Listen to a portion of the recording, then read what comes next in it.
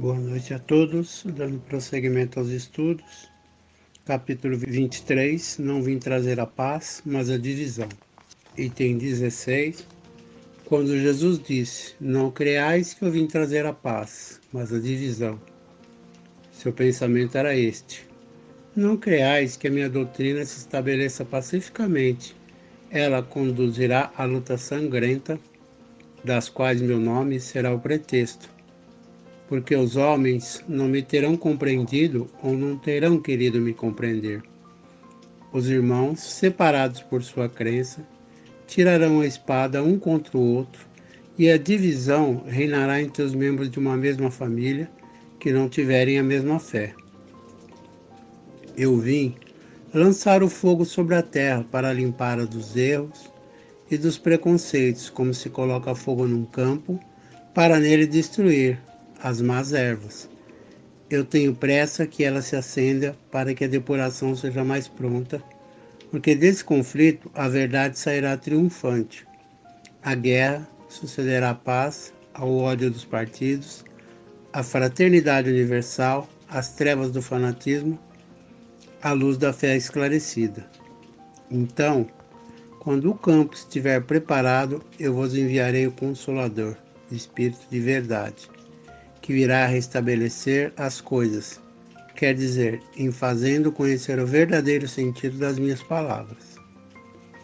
Os homens mais esclarecidos poderão enfim compreender e por fim a luta fraticida que divide os filhos de um mesmo Deus, cansados enfim de um combate sem resultado, que não arrasta atrás de si senão a desolação e leva a perturbação até o seio das famílias.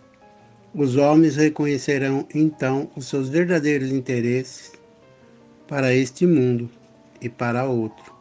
Verão que de um lado estão os amigos e os inimigos de sua tranquilidade.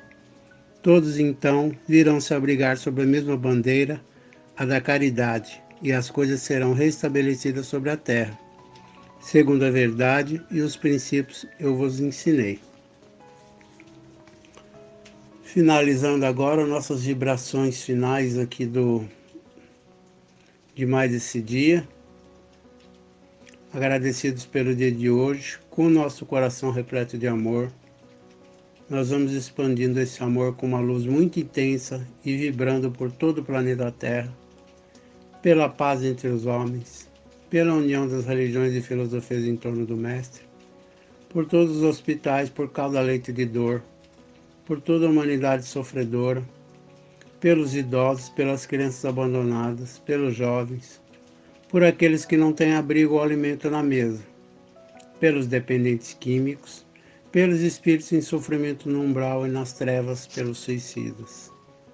Vibremos por nosso lar como santuário das almas em renovação cristã, por nós mesmos como servidores do Cristo intensificando essa luz de vibração e de amor, vamos orando o Pai nosso que estás no céu, santificado seja teu nome, venha a nós o vosso reino, seja feita a tua vontade, assim na terra como no céu.